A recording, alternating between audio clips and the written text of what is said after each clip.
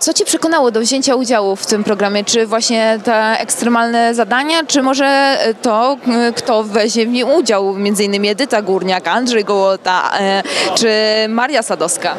Generalnie nie wiedziałem, kto weźmie udział, więc mogłem tylko domniemać, kto, kto ewentualnie mógłby być w tym programie jednym z uczestników i lecąc tam zastanawiałem się, czy poznałem na lotnisku już pierwszych uczestników, więc yy, to była cztery osoby, tylko cztery osoby, mamy całą czternastkę, więc nie wiedziałem, co będzie dalej, więc e, zaskoczyło mnie to, że już na lotnisku poznałem osobiście Andrzeja Gołotę, który, który jest bohaterem mojego już świętej pamięci taty, z którym oglądałem walki Andrzeja, więc to było niesamowite uczucie, że mogłem uścisnąć mu dłoń, a jak się okazało później też zawrzeć fajny, nawiązać fajną relację, więc super sprawa. I gdyby tata teraz, że myślę, że byłby dumny z tego, że tak się wszystko potoczyło, że byłem w stanie zawrzeć, może nie z nim sojusz, ale wspólnie fajnie dzielić program.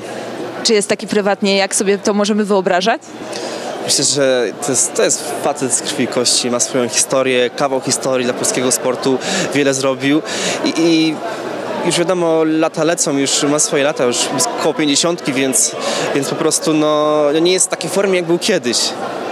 Chodzi mi oczywiście o tężyznę fizyczną i tak dalej. Chociaż myślę, że i tak jak naprawdę jakby patrząc na jego wiek i na to, ile potrafi co pokaże w tym programie, to można powiedzieć, że no, niesamowite, że, że trzyma się, trzyma się i tego mu życzę, żeby dalej tak trwało w tym, że jest tak, tak mocny, yy, mocnym zawodnikiem. Miałbyś szansę w, z nim w walce na rękę? Myślę, że nie. Myślę, że nie ma szans. Ja to tak bardziej traktowany byłem jak syn przez niego, zresztą przez Mariolę również, więc y, fajnie się stało, że trochę tak się mną zaopiekowali na początku. W sensie, e, można powiedzieć, e, otoczyli mnie taką fajną opieką, uśmiechem, miłymi słowami. Wszystko przez to, że mają syna, który urodził się tydzień przede mną, więc jesteśmy w podobnym wieku, więc to chyba wyszło tak naturalnie, że oni czuli jakąś taką małą więź ze mną. Miałeś okazję poznać ich syna?